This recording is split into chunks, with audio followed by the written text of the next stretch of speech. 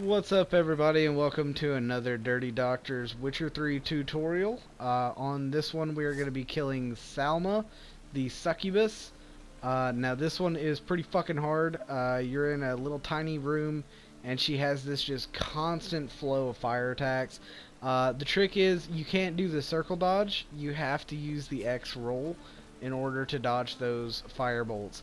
Now, another thing that's going to really help you out in this fight is if you have the perk uh, for your Quen active shield, it'll absorb some of the damage, turning into health, uh, and it will also let you get close to her to be able to hit her with a couple attacks.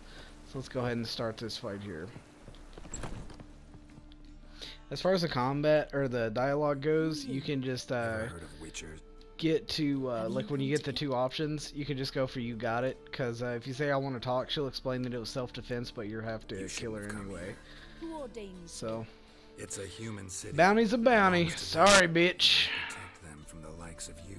So it's true what they say about witches. You're but murderers for hire.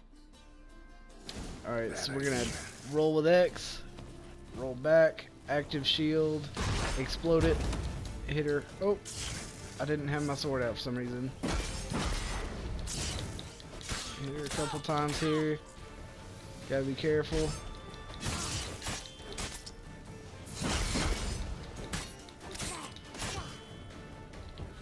As you can see, active shield is extremely important.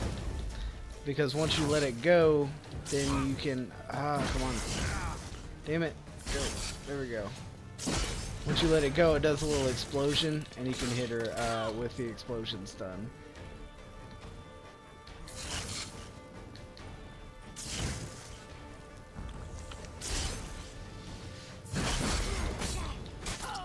And there you have it. That's how you kill Salma the succubus.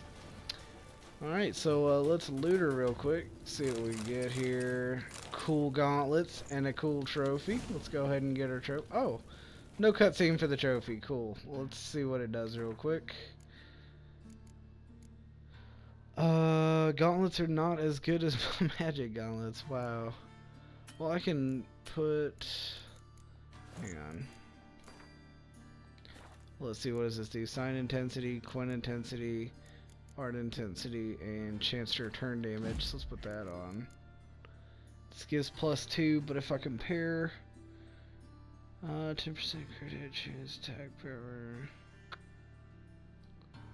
Yeah, I think they're better with the bonuses, even though they do two less armor. We're going to keep them on. Okay, cool.